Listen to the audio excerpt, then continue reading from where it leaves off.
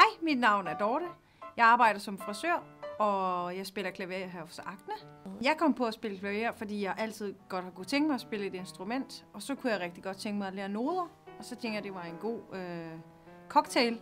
Jamen, musik er jo mange ting, men for mig er det jo også et, øh, et legerum og et sted, hvor man kan udforske og lære en masse ting om sig selv.